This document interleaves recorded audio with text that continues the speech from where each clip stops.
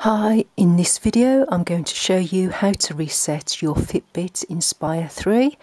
Before you start make sure your Fitbit is fully charged or has at least more than 30% of battery life because if the battery dies while in process it could um, cause a few issues after.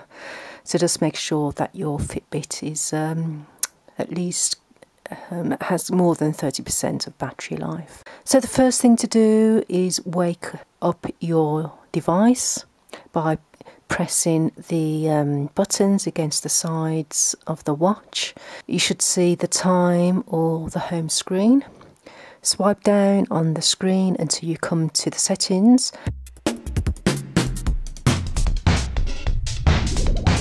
Tap on it to open scroll down again until you see device information. Tap on it and scroll down again until you see clear user data. Tap on it and then scroll down again until you see this. To clear your data, you need to press down for three seconds until you get a border line filling it. So you get this line going round the outer part. Um, so once that border is filled in, then we can move on to the next bit. So after that, your device will start to reset back to factory settings. After a few seconds, your device will bring up this, which is telling you to download the app. So this indicates that the factory set is complete so what I'm going to do next, which is the final process, is to clear my data on the Fitbit app, which is stored on my phone. So we'll just move over to my mobile phone. So open up the Fitbit app, sign in.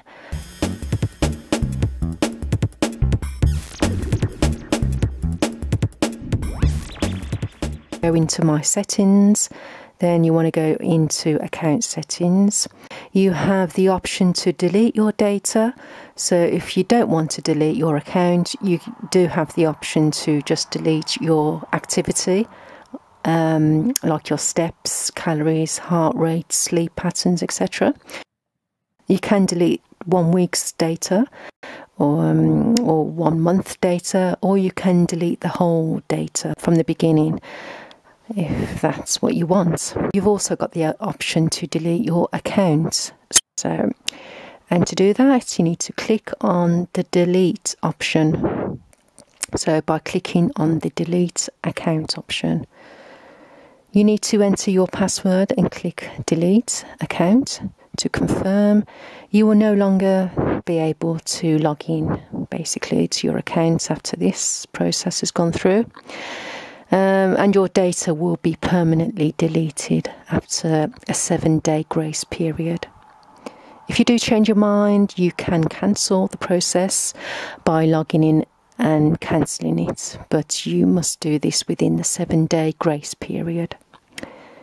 Okay, that's it for this video.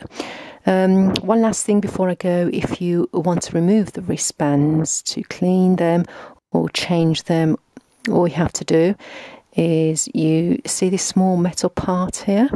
So you just press that in and the strap should come out. It should release it from the fitbit device. And the same with the other side as well. The other end um, gently press in and it should pop out and if you want to put them back in uh, again um, press the metal bit in and you need just need to slot it in the um, in the slots accordingly. Uh-huh.